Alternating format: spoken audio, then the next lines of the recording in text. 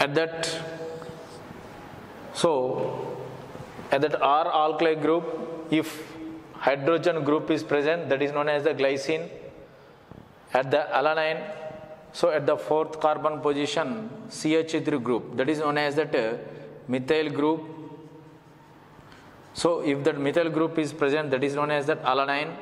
In the serine amino group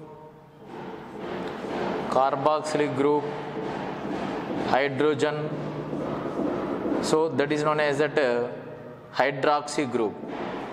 At the fourth carbon position that is known as that hydroxy group. Okay? So it means they are known as that uh, proteinaceous amino acid. So that is that uh, important point